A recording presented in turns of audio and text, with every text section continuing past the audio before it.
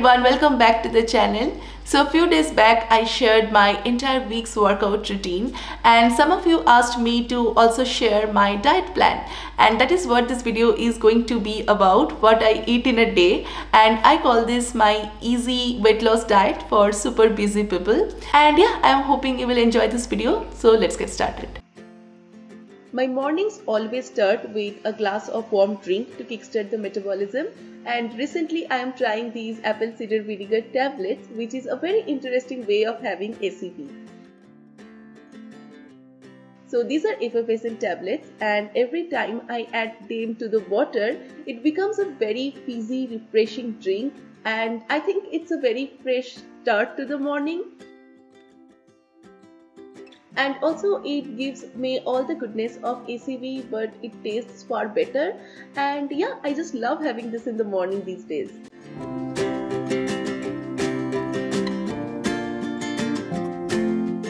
Now moving on to the breakfast, these days I am having this very filling oatmeal cooked with protein powder and a portion of fruit and for that I start off by measuring the oats. So I'm measuring 50 grams of oats which is enough for me and my husband. So I'm adding the oats to a pan and to that I'm also adding some warm water. So I always love using warm water because it just makes the cooking process faster and easier. I'm giving the oats a very quick stir and then I will cover and allow it to cook for some time and in the meantime I will prepare the fruits. I have any fruits that I have at home and on this day I was having some apple. Now I love adding the apples to my oatmeal because it just gives some added sweetness to the oatmeal.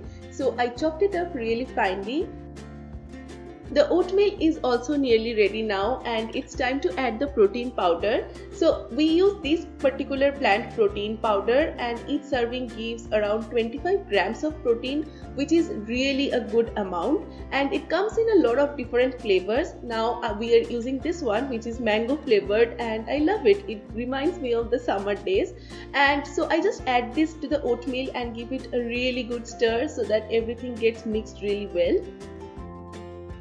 So yeah, now it's ready to be served. So I just take it in a bowl, add the chopped apple on the top and it's ready. Honestly, this is one of the best breakfast dishes that I've ever tried. It tastes like a dessert. It is very filling, it is very nutritious and I just love to have it as the first meal of the day.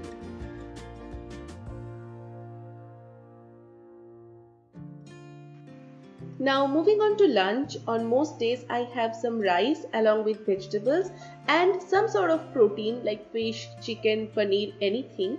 And on this particular day, I decided to cook some chicken along with broccoli just to combine the vegetables and the protein into an one pot meal. So I started off by grinding some ginger and garlic. I love making this paste whenever I get time. It just enhances the taste of the dish. And then I chopped up the vegetables starting with some tomato and some onion.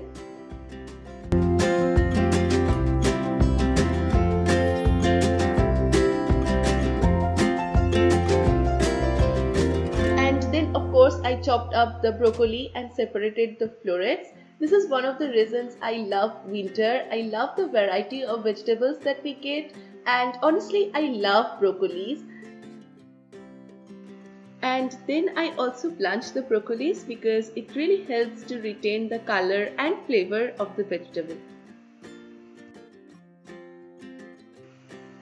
So I start off by adding some jeera to some hot oil and to that I am adding the onion followed by the ginger garlic paste.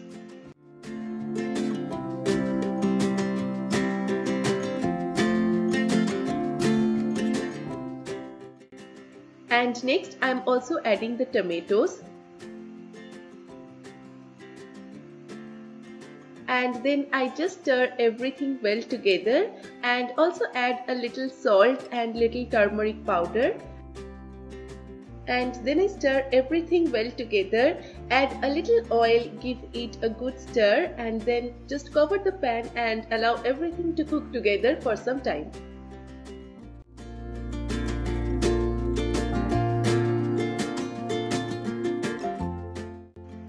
So once the gravy comes to a boil, it's time to add the chicken. Now here I am adding some pressure cooked chicken which I did as a part of my meal prep and I feel it makes the cooking easier and faster. So I mix the chicken really well with the gravy and allow it to cook in high heat for a while so that the gravy dries down and it starts looking like this. And once it reaches this consistency, then it's time to add the broccoli.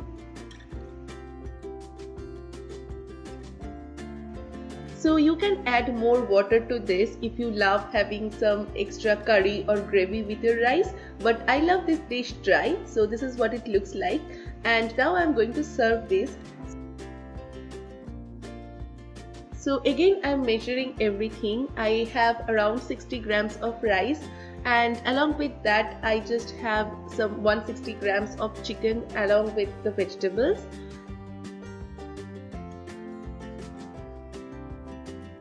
and I'm just going to add some lemon wedges to this and lunch is served. At around 7 7:30 I have the last heavy meal of the day which is also my pre-workout meal. So usually it's two toasts along with some sort of egg and on this day I wanted to show you how I make my favorite egg balls. So I just started off by breaking open the eggs and it's two whole eggs and two egg whites for each one of us and I am making it for both me and my husband.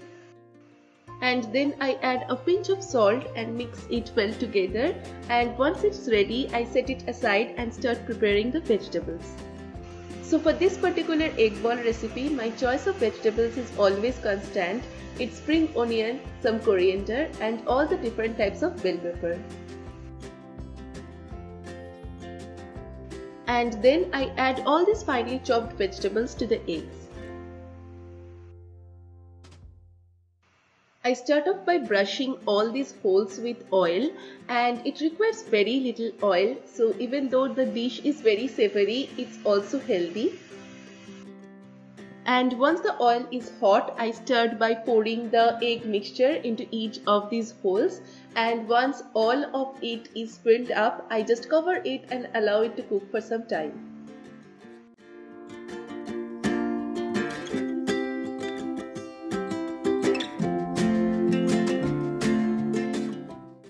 And once the top looks like this, it means that the bottom side is already cooked so it's time to turn the balls upside down and allow the other side to cook.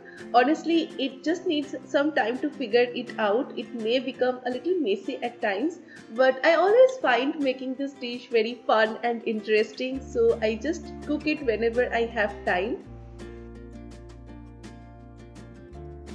and I allow the other side to cook for 2 minutes and once that's done the balls are ready and it's time to take them out on a plate.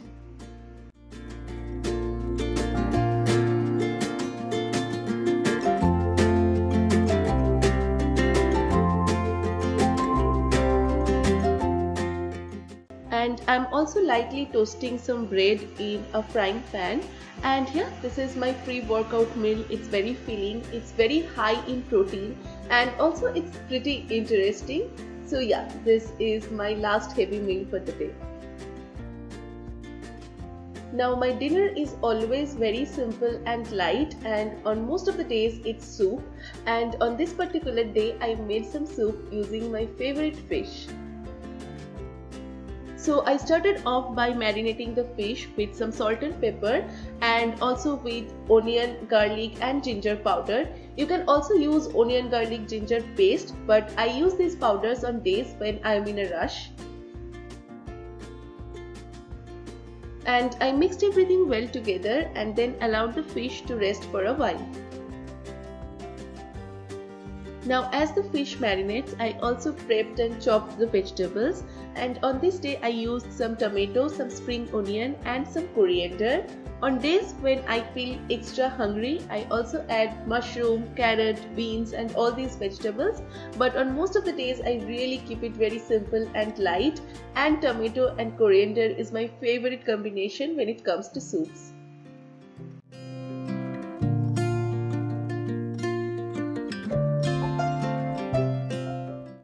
Once the fish is marinated, I just allow it to boil in hot water for some 15-20 minutes and uh, I am using bhetki for this particular recipe and that fish is very soft and it gets cooked really quickly.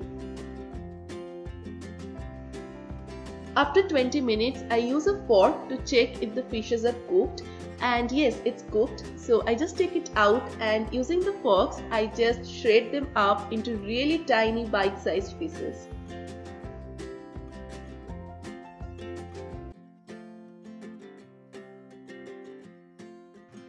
Now for the soup, I start off by adding a tablespoon of oil in a kadai and once the oil is heated up, I add all the spring onion.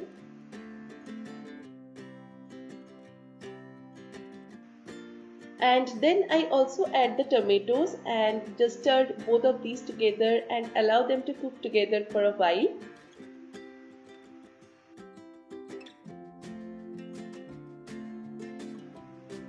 And then I just add a little salt nothing else just some salt because a lot of flavor is already added when the fish is marinated. So next I add the fish stock to this. It already has all the onion ginger garlic pepper and all of it. So I just cover it and allow it to cook for a while. And once it comes to a boil I open the lid and add the fish to this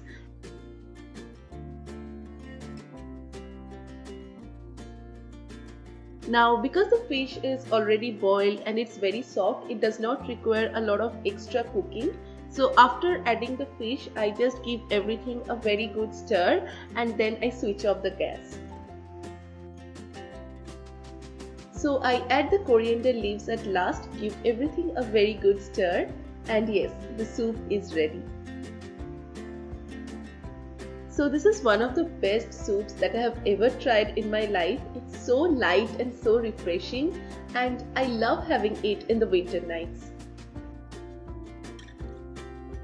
So yeah, that is it for this video guys. Do let me know what you think about it and I will be back with a new video very soon. Till then take care and bye.